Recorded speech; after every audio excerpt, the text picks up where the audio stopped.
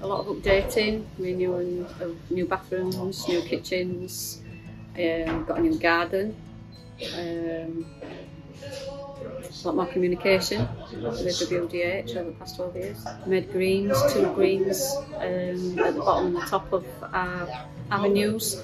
Changes I've seen to the outside, we've been re-roofed. Uh, know plenty of houses have um, insulation put on the outside uh, and, and other uh, other upgrades.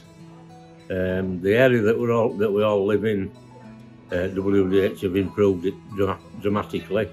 Um, not just through doing the houses up to make it look better, but the green open spaces that, that belong to WDH, they've all been um, upgraded. There's been a lot of tree work going on, um, a lot of work on estates to um, make, make the estates more visible uh, and make the moving around the estates by tenants a lot a lot easier.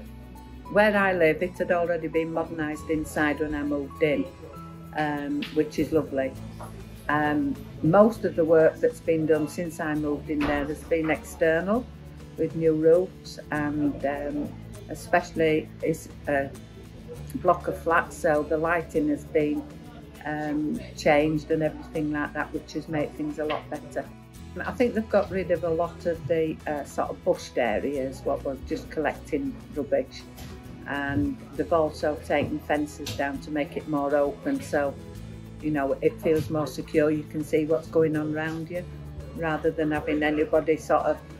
It, it just feels safer. Nobody's hiding behind fences and stuff like that.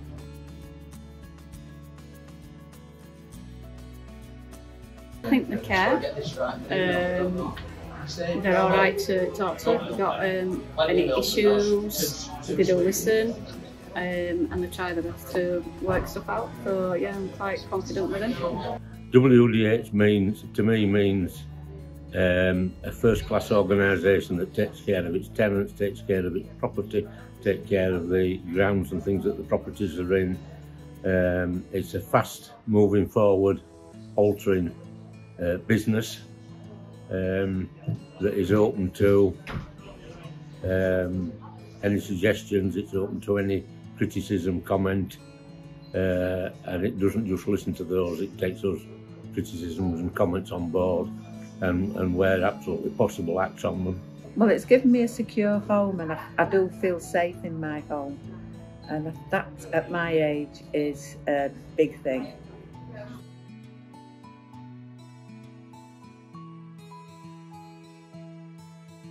I of it. Uh, I like to know what's going on, what they actually are going to do in the future, input that we put in as well. They ask us for input, which is really good.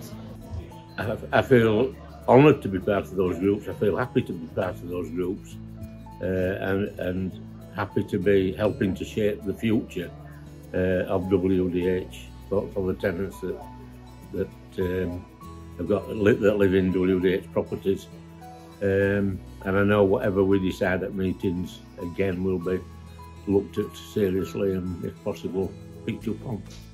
Love it um, because we, we find out what's going on. As Liz said, we have a lot of input, and uh, it's nice that people listen to us as tenants. And I'm like Liz, I think it'd be nice to see a lot more people take this on board.